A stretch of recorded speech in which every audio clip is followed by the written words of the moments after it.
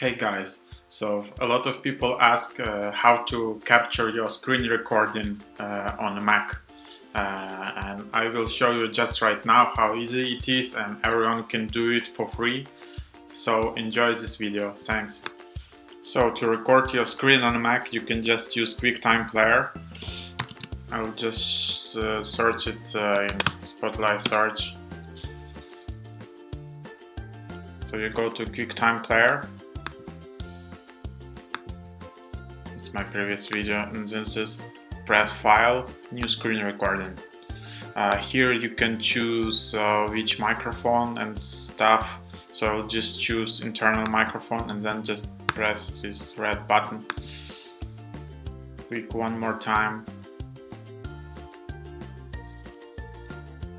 And after that it, it should begin.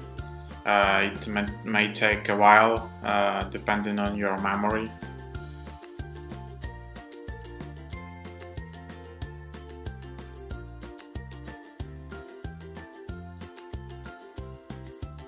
and here it goes so it just started recording. Uh, as you can see there is a screen recording with audio.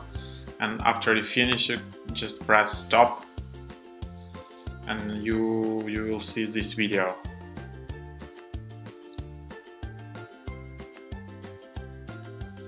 Yes so yeah this is how it works